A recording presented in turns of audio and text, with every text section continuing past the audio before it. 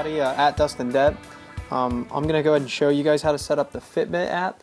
So if you guys have just purchased a Fitbit 1 or a, a Fitbit Force or Flex uh, or even the Zip or something like that, um, we'll go ahead and show you how to set that up.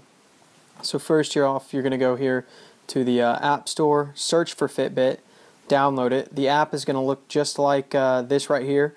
Now you can download other other apps that will work with your Fitbit, like Runkeeper and things like that. But I still recommend downloading the Fitbit app and uh, always having that on there, running at all times as well. So uh, we'll go ahead and launch Fitbit here. As you can tell, I already have uh, have something set up on here. But if you don't already have something set up, it'll come up and it'll show you just like this: set up a new device.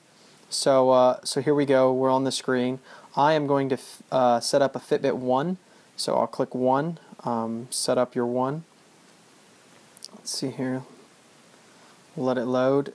I'm just going to go ahead and turn on the Fitbit 1 like it says in the video. Um, hit start.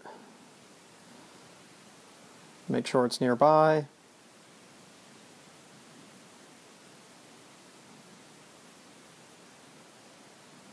There we go.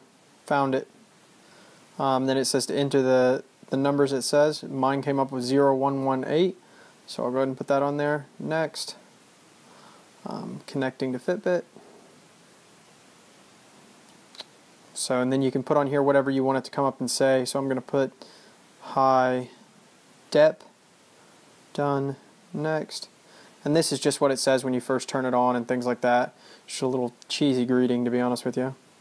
Um, now you only have that on the 1 and the Force, so Flex won't have that because the Flex obviously it just has the 4 or 5 lights or whatever um, Fitbit 101, see your stats on the go, da da da da da. See, it tells you that the one here does steps, distance, floors, and calories, which is pretty good. It's better than the flex because the flex doesn't actually do the floors.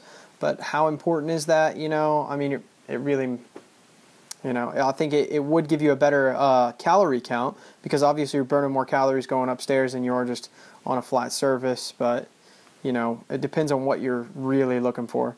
So done. And there we go. Now my uh, Fitbit 1 is all linked up here. So we'll go to my dashboard. So there you go. So see it says that I've done uh, 5,113 steps today.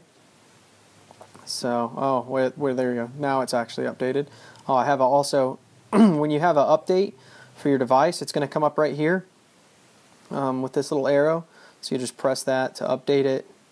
Could take 5 to 10 minutes. So, uh, so there you go and it's okay to leave the app. So I'm not going to do that right now. But if you guys have any questions on how to set up your Fitbit device or anything like that, please hit me up at uh, Dustin Dep. You can hit us up on Facebook, Twitter, uh, Google Plus, or right here in the comments below. So thanks a lot, guys, at Dustin Dep.